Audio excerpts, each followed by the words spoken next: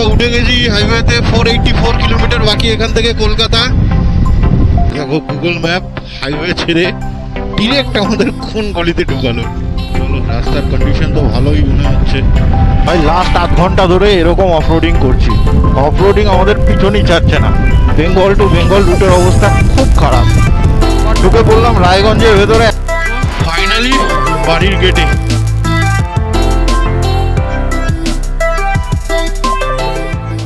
চলো, ইসলামপুর থেকে বেরিয়ে গেলাম। এখন ঘড়িতে বাজে আটটা পনেরো। মানে আরও পনেরো মিনিট লেট হলো আমাদের। আজকের ব্লগটা হতে চলেছে একটু র তার কারণ হচ্ছে ফাইভ হান্ড্রেড কিলোমিটার যত তাড়াতাড়ি পারা যায়, বাড়িতে ঢোকার চেষ্টায় রয়েছি। তাই একটু ট্রেনে চালাবো। সব জায়গায় হয়তো ব্লগ করার সুযোগও পাবো না। মেবি এই ব্লগটা একটু ছোট হতে পারে, কারণ এই রুটটা আসার সময় তোমাদের আমি পুরোটাই দেখিয়েছি। মানে বিশেষ, খুব বিশেষ কিছু দেখানোর নেই বা বিশেষ রোড কন্ডিশন বা রোডের ডিরেকশন সম্পর্কে জানানোর নেই, কারণ আসার সময় পুরোটাই বলেছি কোন রুট ধরে এসছি এবং সেই রুট ধরেই আমরা ফিরছি বাড়ির দিকে। মানে এখান থেকে ইসলামপুর থেকে হাইওয়ে কানেক্ট করে একটু রুটটা চেঞ্জ হচ্ছে ফার্স্ট টাইম ফার্স্টের দিকে আমরা বেঙ্গল টু বেঙ্গলই চলে যাচ্ছি। ডালখোলা ঘুরবো না। আমরা উঠে গেছি হাইওয়েতে ফোর এইটটি ফোর কিলোমিটার বাকি এখান থেকে কলকাতা। চলো এবার একটু ট্রেনে চালাবো। আর হাইওয়ে রাইডটা উইথ মিউজিক তোমরা এনজয় করো।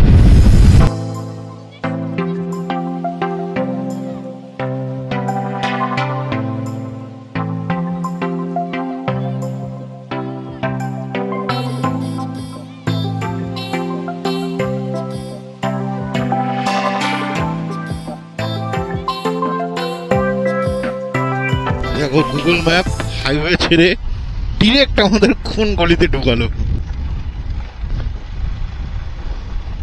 জানি না কতটা উচিত হলো গুগল ম্যাপের ফর্সায় শর্টকাট নেওয়া।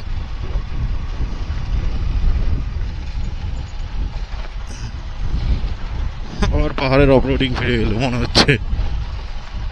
না, এখান থেকে একটা বাইপাস রাস্তা আছে। আচ্ছা সেই জন্যই গুগল গুগল বাবাই আমাদের এখানে ঢুকিয়ে দিয়েছে। এই যে রাস্তাটা।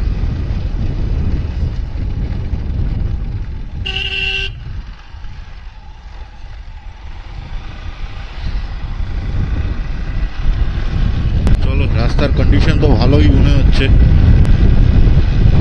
অচেনা পথের তাও চাপা ঘুরতে থাক।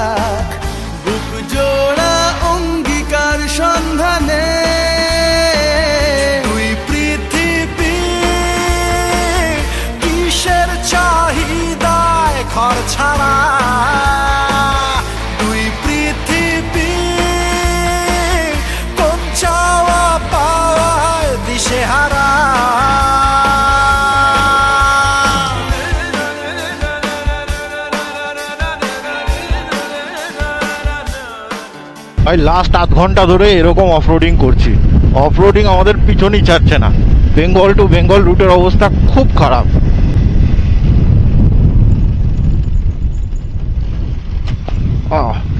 পঁচিশ কিলোমিটার কম ঘোরা হয় ঠিকই, কিন্তু রাস্তার অবস্থা খুব খারাপ এবং খুব রিস্কিও কারণ দুদিকে গ্রাম, যখন তখন বাচ্চা কাচ্চা, গরু, ছাগল দৌড়ে রাস্তায় বেরিয়ে চলে আসে।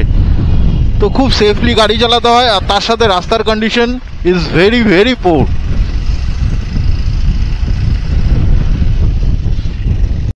এখান থেকে বোতলবাড়ি হাইওয়ে ক্রসিং হচ্ছে আরও সেভেন্টিন কিলোমিটার ভেবেছিলাম রাস্তাটা একটু ভালো হবে, কিন্তু কিছুটা ভালো রাস্তার পর আবার এরকম রাস্তা স্টার্ট হয়ে গেল।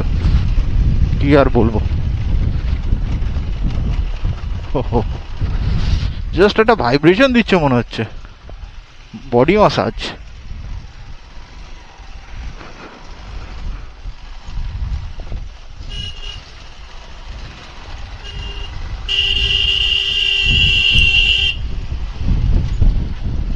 ও আহ!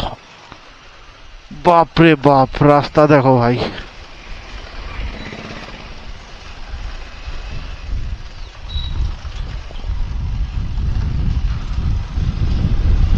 হ্যাঁ।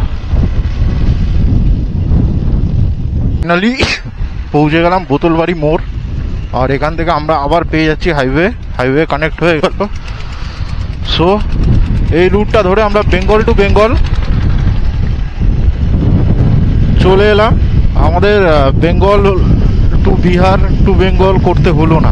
মানে বিহারের মধ্যে ঢুকে আবার বেঙ্গলে ফেরত আসতে হলো না। আর এতে টোয়েন্টি ফাইভ কিলোমিটারের মতো আমাদের সেভও হলো। তো চলো এবার হাইওয়ে পেয়ে গেছি। এবার একটু টান টান করে চালাতে হবে ভাই। চলো, যেই রাস্তা দিয়ে চালিয়ে এলাম না, তারপর এরকম রাস্তা পেলে মনে হয় স্বর্গ রায়গঞ্জ এখান থেকে দেখাচ্ছে সোজা আর বামতামপুর বাদিকে। তো আমাদের তো এখন স্ট্রেটই যেতে হবে, শুধু রায়গঞ্জে একটা ডাইভারশন পড়বে। সেই ডাইভারশন থেকে বাদিকে গিয়ে আমরা আবার হাইওয়ে কানেক্ট করে নেব। রায়গঞ্জের ভেতর দিয়ে অ্যাকচুয়ালি আমাদের যেতে হবে। আবার ঢুকে পড়লাম রায়গঞ্জের ভেতর। অ্যাকচুয়ালি ডিরেক্ট যে হাইওয়েটা এটা এখন বন্ধ আছে উপরের ব্রিজটা সো ভেতর, আমাদের রায়গঞ্জের ভেতর দিয়েই যেতে হবে। যদি পারি এখানে চা খাব ব্রেকফাস্ট করে নেব। সকাল থেকে চা পর্যন্ত খাইনি। সো এই হচ্ছে আপডেট আর একটু আগে আমি এই জাস্ট কানেক্টারটায় দাঁড়িয়েছিলাম। আমার দাদা পিছনে ছিল একটু। তো একজন পুলিশ অফিসার আমাকে ডাকছিল। তাই আমি বললাম, কি হলো? বলল ছাওয়া এসে দাঁড়াও। আমি বললাম, না, পিছনেই আছে। বলল আচ্ছা ঠিক আছে। তো দেখে খুব ভালো লাগল। মানে এরকম সচরাচর দেখা যায় না।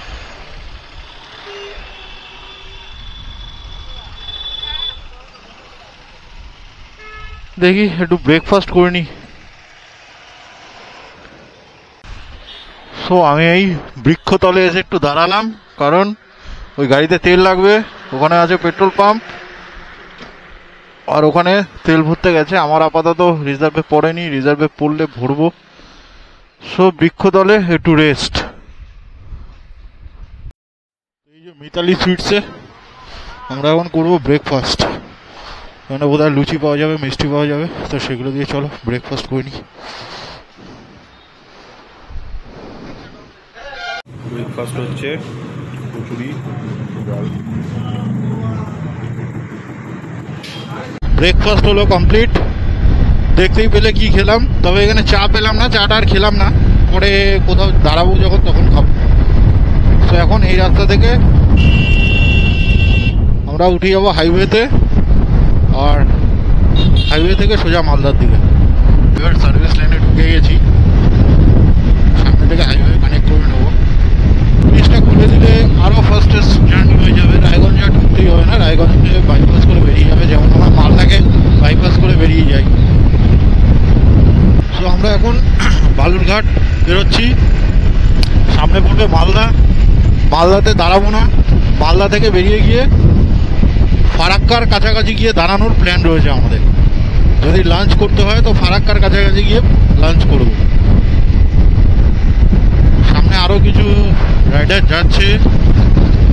গিয়ার ওরা রয়েছে সবাই। বাট লাগেজগুলো খুব রিক্সলি বেঁধেছে। সবই আমার মতো কম সিসির গাড়ি। দেখেও ভালো লাগে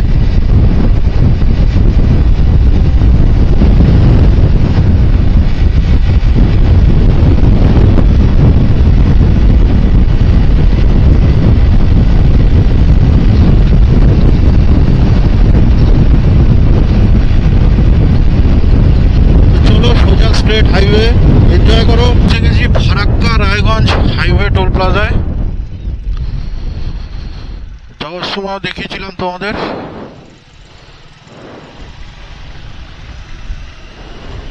আর আমাদের তো টোল দিতে হয় না। আগেও বলেছি। আমরা ভিআইপি চলো। এই ভাই ফার্স্ট থেকে টাকা কাটা, ওটা বেরোলাম সো আমরা মালদা বাইপাস দিয়ে মালদা টাউনকে বাইপাস করে বেরিয়ে যাচ্ছি। সামনে পঁচিশ কিলোমিটারের মাথায় পড়বে ফারাক্কা। ইচ্ছা আছে ফারাক্কা পার করে তারপর একবার দাঁড়াবো। দাঁড়িয়ে একটু জল চা খাব। একটু মিনিট পনেরো রেস্ট নেব। তারপর আবার রাইড কন্টিনিউ করব। তো চলো, যেখানেই দাঁড়াবো, তোমাদের ডেফিনেটলি জানাব।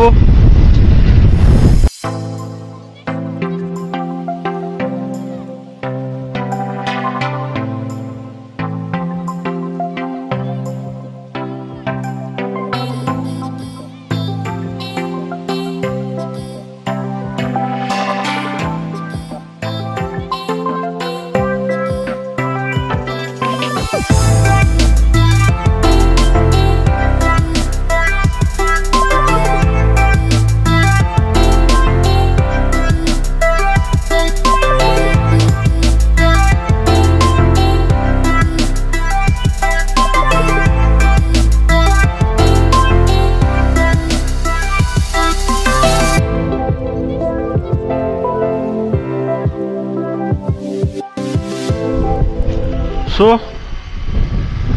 এই হচ্ছে আবার ফারাক্কা ব্যারেজ আজকে এদিকে প্রচুর জল রয়েছে।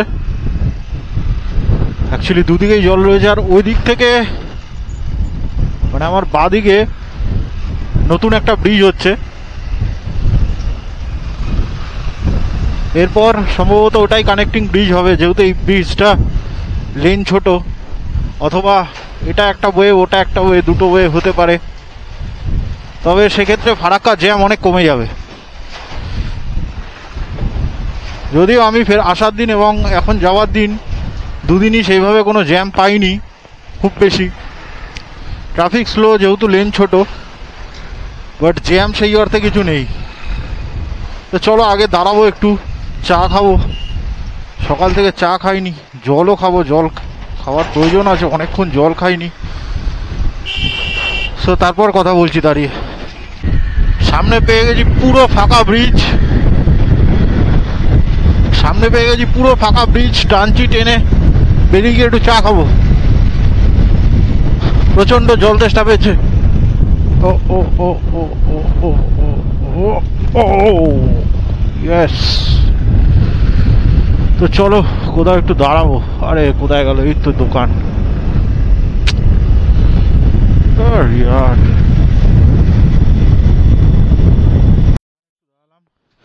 ভাইকে দোকান রয়েছে, এখান থেকে চেনটা একটু লুপ করিয়ে নেব। আর এখান থেকে চা খেলে খেতে পারি বা কোল্ড ড্রিঙ্কস আর জল খাব। চলো বেরিয়ে আবার কথা বলছি। ইন্ডিয়ান অয়েলের পেট্রোল পাম্পে দাঁড়িয়েছিলাম। এখন বাজে দুটো দশ। আমরা এখানে ঢুকেছি দুটোর সময়। এখনও আড়াইশো কিলোমিটার রাস্তা বাকি। তাই আট লিটার মতো তেল ভরিয়ে নিলাম। বহরমপুর এখান থেকে ফর্টি ফাইভ কিলোমিটার। বহরমপুর থেকে আমরা যাব কৃষ্ণনগর। কৃষ্ণনগর থেকে মায়াপুর নব, নবদ্বীপ হয়ে ওল্ড দিল্লি রোড হয়ে ডানকুনি যাব। Finally Kolkata one ninety one আমরা আছি বহরমপুর পার করে এনএইচ থার্টি ফোরের ওপর।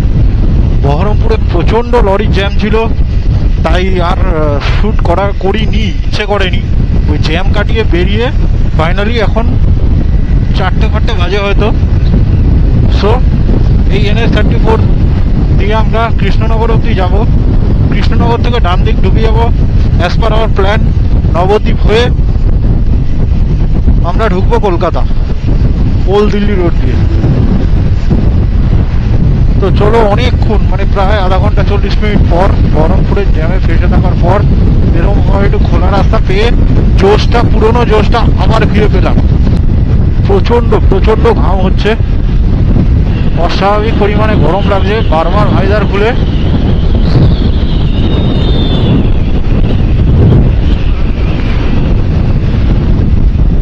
প্রচণ্ড পরিমাণে ঘাম হচ্ছে, তাই বাই বারবার ভাইজার খুলে গ্লাভসে ঘাম মুছতে হচ্ছে, কিছু করার নেই।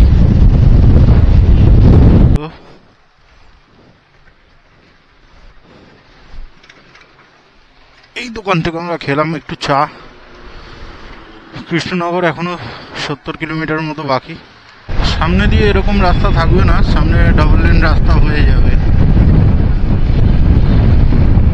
কোনটা তোমাদের বললাম, সামনে ডাবল লেন রাস্তা এবং খুব স্মুথ রাস্তা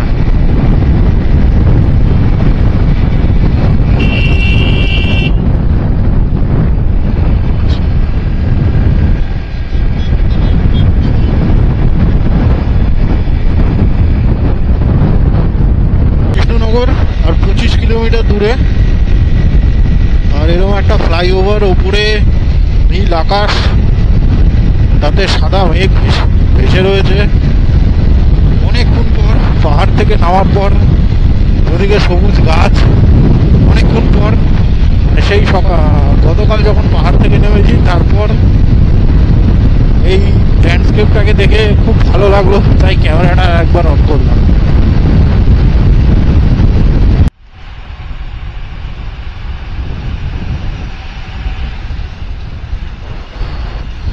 রাস্তায় প্রচণ্ড ধুলো। লেন্স, ক্যামেরার লেন্সে বারবার ধুলো লেগে একটু অস্পষ্ট হয়ে যেতে পারে। আর আমরা এখন এনএস থার্টি ফোর ছেড়ে দিলাম। ছেড়ে দিয়ে ডান দিকে, নবদ্বীপের দিকে ঢুকে যাব।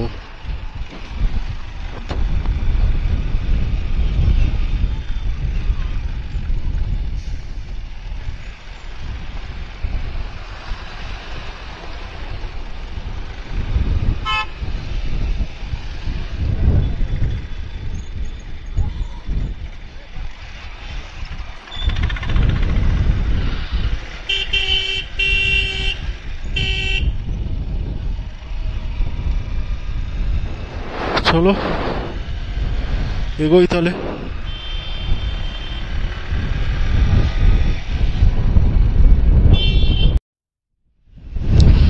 ফাইনালি এখন সময় হয়েছে রাত্রি নটা তিরিশ, সাড়ে নটা বাজে। আর আমি এখন রয়েছি বালি ব্রিজের ওপর বাদিকে আমার দক্ষিণেশ্বর মন্দির। যাওয়ার সময় মাকে প্রণাম করে গেছিলাম। আর এখন আরেকবার প্রণাম করতে চাই যে এত সুন্দরভাবে আমার রাইডটা কমপ্লিট করানোর জন্য। গুরু নাম্বারে কোনো রকম প্রবলেম ছাড়াই গাড়ির এবং আমার উঠ- উঠতে পারার জন্য আরেকবার মা ভগতানীকে প্রণাম জানাই। আর সেকেন্ডলি আমাদের এতটা দেরি হওয়ার পিছনে কারণ হচ্ছে নবদ্বীপের ওখানে আমাদের একটা কাজ ছিল ছোট, তো ঘন্টাখানেক ওখানে আমাদের নষ্ট হয়েছে। তো ওখান থেকে আমরা প্রায় সাড়ে ছটা, পৌনে সাতটা নাগাদ বেরিয়েছি। বেরোনোর পর এখন বাজে সাড়ে নটা। আর মোটামুটি আমি আমার বাড়ির কাছে সো আজকের ব্লগটা এখানেই শেষ করব, কারণ আর বিশেষ কিছু দেখানোর নেই। শুধু এইটুকুনি বলব, যারা এই ব্লগটা দেখছ, এটা আমার নর্থ সিকিম সিরিজের লাস্ট ব্লগ তারা সামনে আগের যে ব্লগগুলো আছে, সেগুলো দেখো, তাহলে পুরো সিরিজটার সাথে কানেক্ট করতে পারবে। আর প্লিজ আমায় সাপোর্ট করো চ্যানেলটা সাবস্ক্রাইব করো। বিশেষ আর কিছু বলতে পারছি না এখন। সারাদিনের ক্লান্তিতে পরিশ্রান্ত। দেখো, কাকা হাত দেখিয়ে ভাবছে ট্রাফিক পুলিশ হয়ে গেছে। মানে ওনার জন্য দাঁড়িয়ে যাবে সবাই।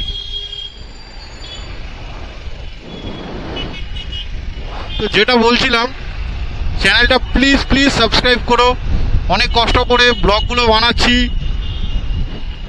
আরে কাকা, হাত দেখালে কি মানে দাঁড়িয়ে যাবে সবাই?